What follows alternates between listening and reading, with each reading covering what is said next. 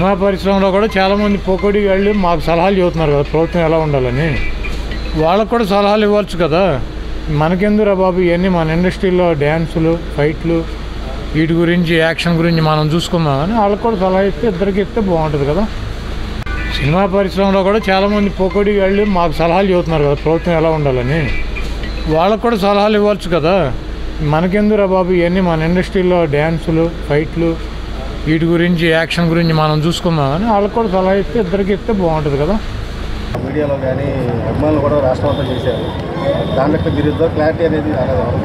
ఇప్పుడు రెండు రకాలు ఉంటాయి.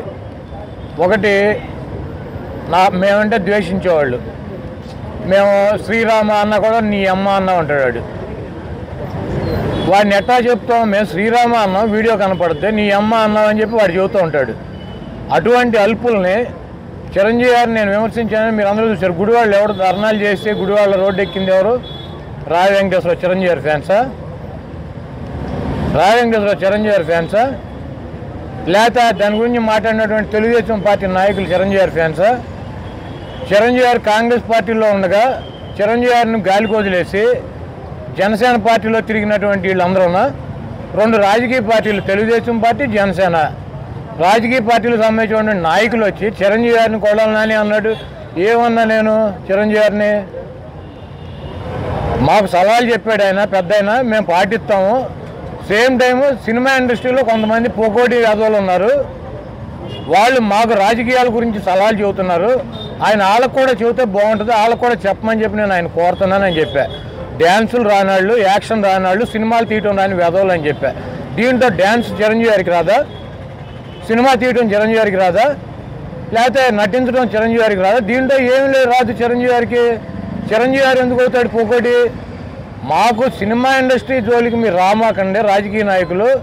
మీరు పోలవరం ప్రాజెక్టు లేకపోతే ఇక్కడ ఉన్నటువంటి రోడ్లు అనేక సమస్యలు ఉన్నాయి. వాటి మీద మీరు స్పందిస్తే బాగుంటుందని ఆయన మాకు సలహా చెప్పాడు. సేమ్ టైం మేము మాకు చెప్పారు మేము వింటాము. మీ ఇండస్ట్రీలో కూడా కొంతమంది పొగోడి వేదవులు పొగోడి నా కొడుకులు ఉన్నారు. డ్యాన్సులు రానాళ్ళు సినిమాలు చేయటం రానాళ్ళు సినిమాలు తీయటం రానాళ్ళు నటం రానాళ్ళు ఆ వెధవలు మా గురించి మాట్లాడుతున్నారు. కాబట్టి వాళ్ళకు కూడా సలహా చెప్పండి అని చెప్పాను నేను. చెప్తే చిరంజీవి గారిని పొగోడి అన్నానని చెప్పి ఇక్కడ ఉన్నటువంటి కొంతమంది వెధవలు తెలుగుదేశం పార్టీకి సంబంధించినటువంటి జనసేనకు సంబంధించినటువంటి వ్యక్తులు దాని మీద పెద్ద ఎత్తున నా నన్ను ఏదో పీకాలని చెప్పి దాని ద్వారా వైఎస్ఆర్ కాంగ్రెస్ పార్టీని పీకాలని చిరంజీవి గారికి తెలియదని నేనేం మాట్లాడాను. ఆయన వీడియో చూసుండ్రా ఆయన నిజంగా అభిమానించేటువంటి అభిమానులు లేరా?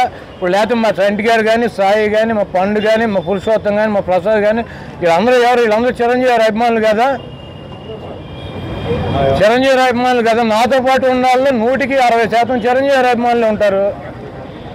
మాకు రాజకీయంగా చిరంజీవి గారిని తిడితే ఏమవుతుందో తెలియదా లేకపోతే నా పక్కన ఉన్న వాళ్ళు నేను చిరంజీవి గారి గురించి అడ్డుగోలుగా మారితే వాళ్ళ వాళ్ళ హృదయాలు బాధపడతాయని తెలియదా వాళ్ళందరూ కూడా ఉన్నారు కదా నేను మాట్లాడినప్పుడు. ఊరికినే ఏదోటి శ్రీరామ అన్న కూడా జనసేనకి టీడీపీకి నీ అమ్మ అన్నట్టు వినపడితే వాళ్ళకి ఎలా అనిపించినా కూడా నా ఈక ముక్క కూడా ఊడదు. వాళ్ళు ఏం ధర్నాలు చేసుకున్నా రోడ్డు మీద వాడి పందులాగా పొరలాడినా కూడా నేనైతే సమాధానం చెప్తున్నాను తెలవాల్సిన వాళ్ళకే చూడాల్సిన వాళ్ళకే నాది వీడియో. నేనేం చెప్పి చెప్పలేదంతా ఏం లేదు.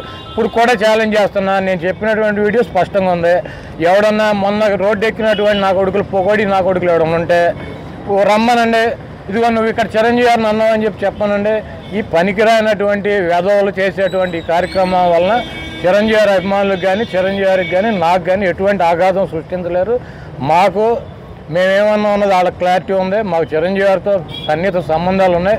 చిరంజీవి గారిని ఈ రోజు ఆ రోజు ఎప్పుడు కూడా నేను గౌరవిస్తాను.